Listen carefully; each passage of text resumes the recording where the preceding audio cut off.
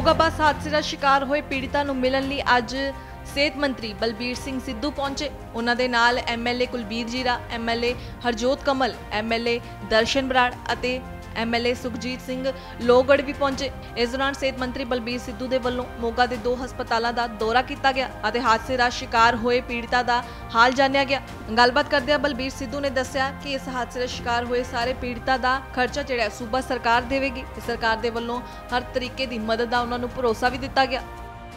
Patient ਛੁੱਟੀ ਲੈ ਕੇ private hospital 'ਚ ਦਾਖਲ ਹੋ ਰਿਹਾ। ਕਿ ਉਹਨਾਂ ਨੂੰ ਟ੍ਰੀਟਮੈਂਟ ਨਹੀਂ ਮਿਲ ਰਿਹਾ ਕਿ ਉਹਨਾਂ ਨੂੰ ਪ੍ਰਾਈਵੇਟ ਹਸਪੀਟਲ ਜਾਣਾ ਪੈ ਰਿਹਾ? ਇੱਕ ਪਹਿਲੀ ਗੱਲ ਤਾਂ ਤੁਸੀਂ ਜਿਹੜੀ ਗੱਲ ਕੀਤੀ ਹੈ ਮੈਂ ਜਿੱਥੇ ਜਿਹੜਾ ਐਕਸੀਡੈਂਟ ਹੋਇਆ ਸੀ, ਬੜਾ ਵੱਡਾ ਐਕਸੀਡੈਂਟ ਹੋਇਆ, ਉਹਦੇ 'ਚ ਸਾਡੇ ਤਿੰਨ ਬੰਦੇ ਚਲੇ ਵੀ ਗਏ। ਬਾਕੀ ਕਿਆਂ ਨੂੰ ਬਹੁਤ ਮੇਜਰ ਜਿਹੜੇ ਫ੍ਰੈਕਚਰ ਹੋਏ ਨੇ, ਉਹਨਾਂ ਸਾਰਿਆਂ ਦਾ ਪਤਾ ਲੈਣ ਵਾਸਤੇ ਮੈਂ ਕਿਹਾ ਗਿਆ ਸੀਐਮ ਸਾਹਿਬ ਨੇ ਚਿੱਤੇ ਤੌਰ ਤੇ ਕਿਹਾ ਸੀ ਕਿ ਮੈਨੂੰ ਇਹ ਸਾਰਾ ਕਰਕੇ ਆਓ। ਪਲੱਸ ਜਿੰਨਾ ਵੀ ਇਲਾਜ, ਚਾਹੇ ਉਹ ਪ੍ਰਾਈਵੇਟ 'ਚ ਹੋਵੇ, ਚਾਹੇ ਸਰਕਾਰੀ 'ਚ ਹੋਵੇ, ਉਹ ਸਾਰਾ ਇਲਾਜ ਅਸੀਂ ਫ੍ਰੀ ਸਰਕਾਰ ਵੱਲੋਂ ਕਰਕੇ ਦੇਵਾਂ ਸਾਰੇ ਪੇਸ਼ੈਂਟਸ ਦਾ। ਜਿਹੜੇ ਪੇਸ਼ੈਂਟ ਜ਼ਿਆਦਾ ਸੀਰੀਅਸ ਸੀ ਜਾਂ ਜਿੱਥੇ ਜਿਹੜੀ ਟਰਸੀ ਕੇਅਰ ਹੁੰਦੀ ਹੈ, ਜੋ ਡੀਐਮਸੀ ਆ ਉਹ ਸਪਾਈਨ ਦੀ ਸੀਗੀ ਤੇ ਇਦਾਂ ਹੀ ਸਪਾਈਨ ਦਾ ਉੱਥੇ ਆਪਣੇ ਅਮਨਦੀਪ ਹਸਪਤਾਲ ਗਏ ਨੇ ਜਾਂ ਮਲਟੀਪਲ ਫ੍ਰੈਕਚਰ ਸੀਗੇ ਉਹਨਾਂ ਸਾਰਿਆਂ ਨੂੰ ਬਾਹਰ ਕੀਤਾ ਔਰ ਬਕਾਇਦਾ ਇੱਥੇ ਅਸੀਂ ਉਸ ਦਿਨ ਜਿੰਨੇ ਡਾਕਟਰ ਲਾਗੇ ਛਾਗੇ ਵੀ ਸੀਗੇ ਉਹ ਵੀ ਸਾਰੇ ਹਸਪਤਾਲ ਬੁਲਾ ਸੀ। ਤਾਂ ਕਿ ਕਿਸੇ ਨੂੰ ਦਿੱਕਤ ਨਾ ਆਵੇ। ਫਿਰ ਜਦੋਂ ਇੰਨੇ ਇਕੱਠੇ ਪੇਸ਼ੈਂਟ ਆ ਜਾਂਦੇ ਆ ਉਦੋਂ ਇਕੱਠਿਆਂ ਨੂੰ ਹਰ ਇੱਕ ਬੰਦੇ ਨੂੰ ਪੇਨ ਬਹੁਤ ਜ਼ਿਆਦਾ ਹੋਈ ਹੁੰਦੀ ਹੈ। ਤੇ ਉਹਨੂੰ ਅਸੀਂ ਉਹਨੂੰ ਬਾਈਫਰਕੇਟ ਕਰਤਾ ਵੀ ਚਾਰ ਪੰਜ ਜਗ੍ਹਾ ਜਿਹੜੇ ਤੇ ਲੈ ਕੇ ਜਾਈਏ ਤਾਂ ਕਿ ਉੱਥੇ ਸਾਰਿਆਂ ਨੂੰ ਪ੍ਰੋਪਰ ਟ੍ਰੀਟਮੈਂਟ ਸਮੇਂ ਸਿਰ ਮਿਲ। ਜਾਵੇ ਮੰਤਰੀ ਜੀ ਕੋਵਿਡ ਨੂੰ ਲੈ ਕੇ ਵੀ ਥਰਡ ਵੇਵ ਨੂੰ ਲੈ ਕੇ ਕਿਸ ਤਰ੍ਹਾਂ ਦੇ ਇੰਤਜ਼ਾਮ ਨੇ? ਦੇਖੋ ਥਰਡ ਵੇਵ ਦੀ ਗੱਲ ਹੈ ਕਿ ਅਸੀਂ ਆਪਣਾ ਜਿਹੜਾ ਸਿਸਟਮ ਸਾਰਾ ਸੈਂਟਰ ਕਰਨ ਜਾ ਰਹੇ ਹਾਂ। ਕੀਤਾ ਹੈਗਾ ਉਹ ਕਰਨ ਜਾ ਰਹੇ ਹਾਂ। ਕਿ ਤਕਰੀਬਨ 78 ਤਾਂ ਜਿਹੜੇ ਪੀਐਸਏ ਪਲਾਂਟ ਆਕਸੀਜਨ ਵਾਲੇ ਉਹ ਅਸੀਂ ਇੰਸਟਾਲ ਕਰਨ ਜਾ ਰਹੇ ਕੁਝ ਹੋ ਗਏ ਨੇ ਕੁਝ ਹੋਣ ਵਾਲੇ ਨੇ ਫਿਰ ਲਿਕੁਇਡ ਮੈਡੀਕਲ ਟੈਂਕਰ ਨੇ ਉਹ ਵੀ ਅਸੀਂ ਲਾ ਰਹੇ ਹਾਂ ਹਸਪਤਾਲਾਂ ਦੇ ਵਿੱਚ। ਮੰਤਰੀ ਵੈਕਸੀਨ ਅਵੇਲੇਬਲ ਹੈ ਸੁਣੋ ਇੱਕ ਮਿੰਟ ਸੁਣ ਤਾਂ ਲਓ ਉਹ ਲਾ ਰਹੇ ਆ ਪਲੱਸ ਅਸੀਂ ਬੈੱਡ ਵੀ 25% ਵਧਾ ਰਹੇ ਆ। ਜੇ 25% ਵੀ ਇਸ ਤੋਂ ਵੱਧ ਪੇਸ਼ੈਂਟ ਆ ਜਾਂਦੇ ਹੁਣ ਨਾਲੋਂ ਤਾਂ ਵੀ ਸਾਡੇ ਕੋਲ ਦਿੱਕਤ ਵਾਲੀ ਗੱਲ ਨਹੀਂ ਹੈਗੀ। ਜਿਹੜੀ ਲਾਸਟ ਟਾਈਮ ਆਕਸੀਜਨ ਦੀ ਸਾਡੇ ਕੋਲ ਭਾਵੇਂ ਹਿੰਦੁਸਤਾਨ ਤੋਂ ਬਹੁਤ ਸਾਨੂੰ ਘੱਟ ਮਿਲੀ ਸੈਂਟਰ ਗਵਰਨਮੈਂਟ ਤੋਂ। ਪਰ ਅਸੀਂ ਆਪਣੀ ਇੰਡਸਟਰੀ ਨੂੰ ਰੋਕ ਕੇ ਪਰ ਆਪਣਾ ਇੱਕ ਵੀ ਜਾਨੀ ਨੁਕਸਾਨ ਰੱਖੀ ਨਹੀਂ ਹੁੰਦਾ ਸਰ ਸਿੱਧੂ ਸਾਹਿਬ ਡਾਕਟਰ ਲਗਾਤਾਰ ਹੜਤਾਲ ਤੇ ਬੈਠੇ ਹੋਏ ਨੇ ਸਫ਼ਾਈ ਕਰਮੀ ਤੋਂ ਲੈ ਕੇ ਨਹੀਂ ਦੇਖੋ ਤੱਕ ਡਾਕਟਰ ਹੜਤਾਲ ਤੇ ਬੈਠੇ ਨੇ। ਸਾਹਿਬ ਮੈਂ ਕੋਵਿਡ 'ਚ ਕਿਵੇਂ ਕੰਮ ਸੁਣੋ, ਚੱਲੇਗਾ ਜੀ ਸ਼ਾਇਦ ਤੁਹਾਨੂੰ ਨਾ ਪਤਾ ਹੋਵੇ ਜਿਹੜੀ ਇੱਕ ਕਮੇਟੀ ਕੰਸਟੀਟਿਊਟ ਕੀਤੀ ਗਈ ਹੈ ਉਹਦੇ ਅਸੀਂ ਦੋਨੋਂ ਵਜ਼ੀਰ ਮੈਡੀਕਲ ਯੂਨੀਵਰਸਿਟੀ ਸਾਹਿਬ ਤੇ ਹੈਲਥ ਵਾਲੇ ਕੁਝ ਬਣਾਇਆ ਹੈਗਾ। ਪਲੱਸ ਸਾਡੇ ਦੋਨਾਂ ਦੇ ਜਿਹੜੇ ਸੈਕਟਰੀ ਹੈਲਥ ਹੈਗੇ ਨੇ ਜਾਂ ਪ੍ਰਿੰਸੀਪਲ ਹੈਗੇ ਉਹ ਵੀ ਅਸੀਂ ਮੈਂਬਰ ਇਨਵੋਲਵ ਕੀਤੇ ਨੇ।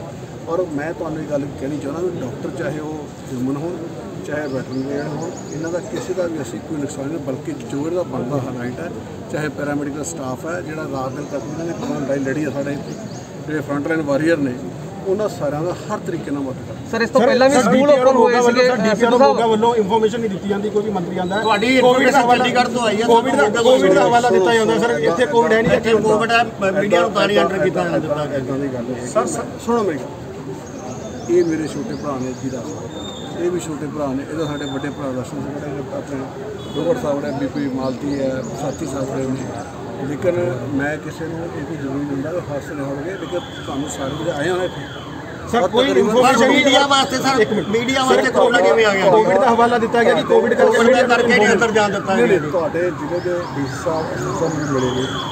ਬਕਾਇਦਾ ਕੋਵਿਡ ਇੱਕ ਪ੍ਰੀਕਾਸ਼ਨ ਦਾ ਦੀ ਬਿਮਾਰੀ ਹੈਗੀ ਹੈ। ਜੇ ਅਸੀਂ ਵੱਧ ਜਾਈਏ ਕੋਈ ਦੋ ਚਾਰ ਪੇਸ਼ੈਂਟਾਂ ਨੂੰ ਅਸੀਂ ਭਾਈ ਵੀ ਸਾਨੂੰ ਸਿੰਪਟਮ ਹੋਣ ਕੋਈ ਪੇਸ਼ੈਂਟ ਪੋਜ਼ਿਟਿਵ ਹੋ ਗਿਆ ਉਹ ਸਾਰਾ ਵਾਰਡ ਹੀ ਪੋਜ਼ਿਟਿਵ ਹੋ ਸਰ ਜਾਊਗਾ 6 ਬੰਦੇ 6 ਬੰਦੇ ਮੀਡੀਆ ਦੇ 6 ਬੰਦੇ ਦੇ ਸਰ ਜੇ ਕੋਵਿਡ ਹੋ ਸਕਦਾ ਸਰ ਜੇ ਜੇ ਕੋਈ ਮਿਨਿਸਟਰ ਹੁਣ ਆਪਾਂ ਛੇ ਤਾਂ ਨਹੀਂ ਆਪਾਂ ਇਹ ਲੋਕਲ ਇਹ ਲੋਕਲ ਮਸਲਾ ਯਾਰ ਆਪਾਂ ਕਰ ਲਾਂਗੇ। ਸੁਣੋ ਮੇਰੀ ਗੱਲ। ਮੰਤਰੀ ਜੀ ਸਕੂਲ ਜਦੋਂ ਮੈਨੂੰ ਪੋਜ਼ਿਟਿਵ ਮੈਂ ਪੋਜ਼ਿਟਿਵ ਹੋਇਆ। ਮੈਂ ਸੰਗਰੂਰ ਰੈਲੀ ਦਾ ਇੰਚਾਰਜ। ਰਾਹੁਲ ਗਾਂਧੀ ਜੀ ਆਏ ਸੀ ਸੀਐਮ ਸਾਹਿਬ ਆਏ ਸੀ ਗੁਜਰਾਤ ਦੀ ਤੇ ਆਏ ਸੀ। ਉਹਦੇ ਮੈਂ ਕੋਵਿਡ ਵਾਲੇ ਵਾਰਡ ਚਲਾ ਗਿਆ। ਉਸ ਤੋਂ ਬਾਅਦ ਮੈਂ ਆਪਣੇ ਪਿੰਡ ਆਪਣੀ ਮਾਤਾ ਨੂੰ ਮਿਲਣ ਚਲਾ ਗਿਆ। ਠੀਕ ਹੈ? ਠੀਕ ਹੈ ਤਾਂ ਮੈਂ ਪੋਜ਼ਿਟਿਵ ਮੈਂ ਆਪਣੀ ਮਾਤਾ ਨੂੰ ਜਾ ਕੇ Sir, media ਕਰਕੇ ਸੁਣੋ ਸੁਣ ਤਾਂ ਲਓ, ਮੇਰੀ ਗੱਲ ਤਾਂ ਸੁਣ ਲੈ ਯਾਰ।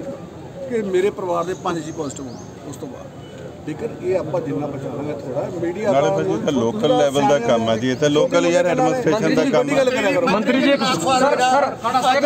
ਅੱਜ ਸਕੂਲ ਖੁੱਲ ਗਏ ਨੇ ਜੀ। ਕੀ ਆਉਣ ਵਾਲੇ ਦਿਨਾਂ 'ਚ ਪੰਜਾਬ ਸਰਕਾਰ ਬੱਚਿਆਂ ਦੀ ਵੈਕਸੀਨੇਸ਼ਨ ਬਾਰੇ ਕੋਈ ਸੋਚ ਰਹੀ ਹੈ? ਬਿਲਕੁਲ ਅਸੀਂ ਜਿਹੜਾ ਸਟਾਫ ਉੱਥੇ ਆ ਰਿਹਾ ਉਹਨੂੰ ਜਿਹੜਾ ਸਟਾਫ ਨੂੰ ਅਸੀਂ ਬਕਾਇਦਾ ਜਿਹੜਾ ਵੈਕਸੀਨੇਟ ਹੋਏਗਾ ਉਹੀ ਸਟਾਫ ਸਰ ਸਰਕਾਰੀ ਹਸਪਤਾਲ ਸੁਣ ਤੋਂ ਲਓ ਯਾਰ ਤੁਸੀਂ ਆਪਣੀ ਗੱਲ ਕਰੋ।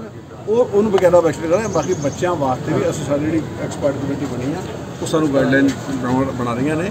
ਅਸੀਂ ਉਸ ਤਰੀਕੇ ਨਾਲ ਦੇਖੋ ਅਸੀਂ ਜਿਹੜੇ ਖੁਦ ਸਕੂਲ ਖੋਲੇ ਨੇ ਉਹ 10ਵੀਂ 11ਵੀਂ 12ਵੀਂ ਉਹ ਥੱਲੇ ਸਕੂਲਾਂ ਹਲੇ ਕਲਾਸਾਂ ਨਹੀਂ ਲੱਗਣਗੀਆਂ। सर जैसे अमेरिका ने विदाउट मास्क अलाउड किया था लोगों को नुकसान हुआ वहाँ पर तो सर हम इंडिया सर कहाँ स्टैंड कर रहा है अमेरिका के मुकाबले ਹੋਰ ਸੁਣੋ ਮੇਰੀ ਗੱਲ ਇੱਕ ਤੁਹਾਨੂੰ ਦੱਸਦਾ ਅਮਰੀਕਾ ਜਿਹੜੀ ਫਾਈਜ਼ਰ ਜਿਹੜੀ ਹੈਗੀ ਆ ਉਹਦੇ ਕਈ ਰਿਐਕਸ਼ਨ ਵੀ ਹੋਏ ਨੇ ਲੇਕਿਨ ਜਿਹੜੀ ਸਾਡੀ ਕੋਵਾਸੀਲਡ ਹੈਗੀ ਜਾਂ ਕੋਵੈਕਸ ਹੈਗੀ ਆ, ਇਹਦਾ ਕੋਈ ਨੈਗੇਟਿਵ ਕੋਈ ਇਸ਼ੂ ਨਹੀਂ ਦੱਸਦੀ ਕਿ ਬੀਤੀ ਦਿਨੀ ਮੋਗਾ ਅੰਮ੍ਰਿਤਸਰ ਰੋਡ ਤੇ ਦੋ ਬੱਸਾਂ ਦੀ ਟੱਕਰ ਹੋ ਗਈ ਸੀ ਜਿਸ ਦੇ ਵਿੱਚ ਪੰਜ ਜਣਿਆਂ ਦੀ ਮੌਤ ਹੋ ਗਈ ਸੀ ਜਦਕਿ ਕਈ ਜ਼ਖਮੀ ਹੋ ਗਏ ਸਨ ਜਿਸ ਤੋਂ ਬਾਅਦ ਜ਼ਖਮੀਆਂ ਨੂੰ ਹਸਪਤਾਲ ਪਹੁੰਚਾਇਆ ਗਿਆ ਤੇ ਲਗਾਤਾਰ ਕਾਂਗਰਸੀ ਲੀਡਰ ਇਹਨਾਂ ਜ਼ਖਮੀਆਂ ਦਾ ਹਾਲ ਜਾਣਨ ਲਈ ਹਸਪਤਾਲ ਪਹੁੰਚ ਰਹੇ ਨੇ।